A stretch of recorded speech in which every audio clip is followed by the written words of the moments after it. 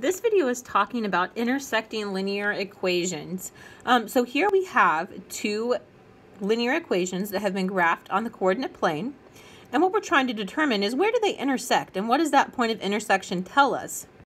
First, let's talk about this line, which represents y equals 2x minus 4. When we say that this line represents y equals 2x minus 4, what it means is that any pair that is a solution to this equation is on that line. Let me show you.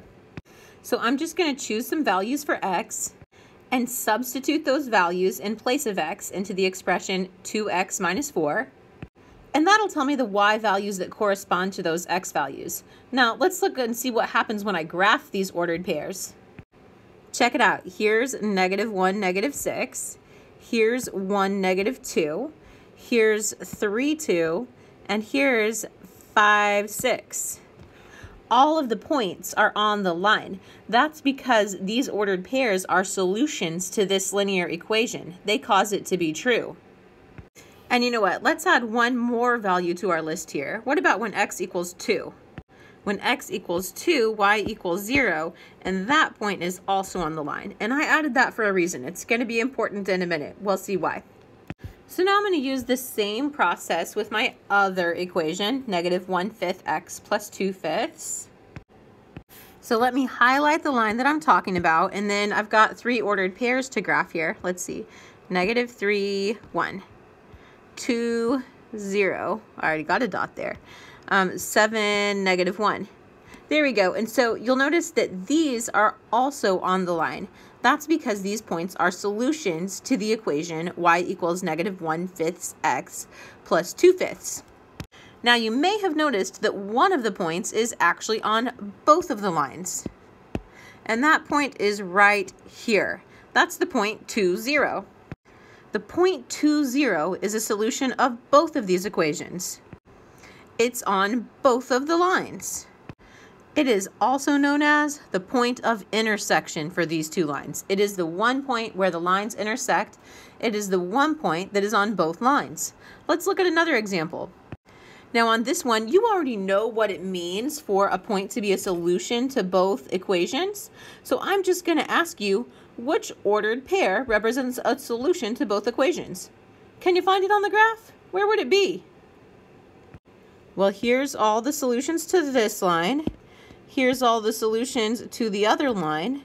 And the only point that is a solution to both of those is this one right here, 0, negative 2. 0, negative 2 is our point of intersection. It's where they cross. And it is a solution to both equations. This can actually be really helpful in real life. So, for example, let me read you this word problem. It says that the Townsville Fair has no entrance fee, and it charges $5 per game. The Cityville Fair has an entrance fee of $10 and charges $3 per game. What does the point 525 represent? And how do you know? Well, let's go find the point 525. Let's see, here's 5 on my x-axis. Here's 25 on my y-axis. So that would be this point right here. This is 525. This is my point of intersection. Now, it would have helped if I had labeled my axes, so let me go ahead and do that. My x-axis represents games, and my y-axis represents dollars. So 525 means it costs me $25 to play five games. And the interesting thing about this value is that it is true in both of these fairs.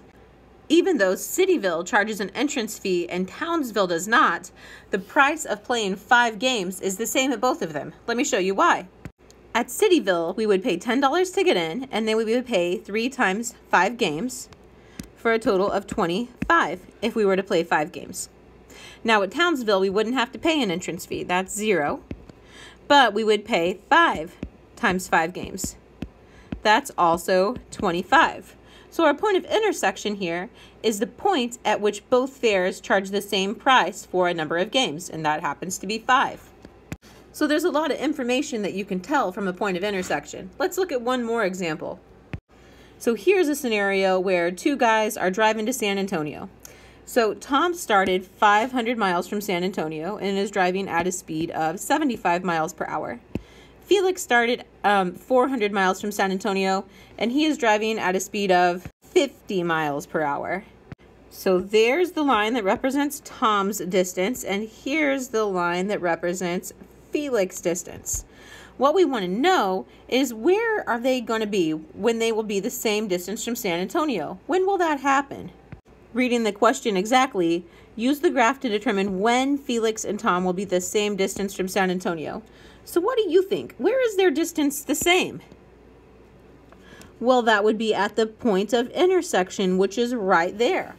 And where does that happen? Well, it happens after four hours of driving. And at that point, they're both going to be 200 miles from San Antonio. So after driving for four hours, both Tom and Felix will be 200 miles from San Antonio.